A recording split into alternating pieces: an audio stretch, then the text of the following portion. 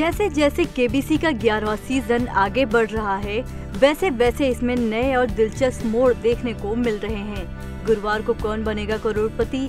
ग्यारहवें के एपिसोड में पटना से आई एक साइंस टीचर के साथ जो हुआ, उसे देखकर हर कोई हैरान रह गया।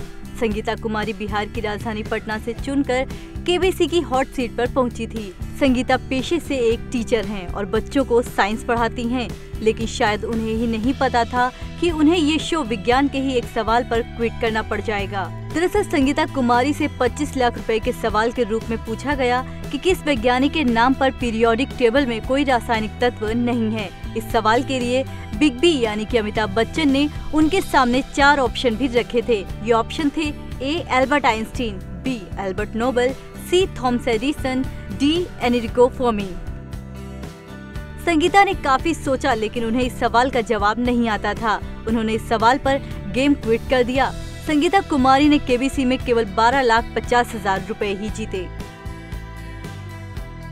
संगीता के पास कोई लाइफलाइन नहीं बची थी और ऐसे में वो कोई रिस्क लेना नहीं चाहती थी। आखिर में उन्होंने क्विट कर दिया।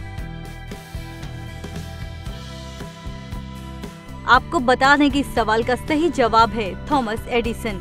हालाँकि संगीता जो जवाब देना चाह रही थी, वो भी सही नहीं था। अमिताभ बच्चन से बातचीत करते हुए और अपने संघर्ष की कहानी बताते हुए संगीता ने बताया कि वो डॉक्टर बनना चाहती थी, लेकिन आर्थिक तंगी के चलते अपने सपने को पूरा नहीं कर सकी।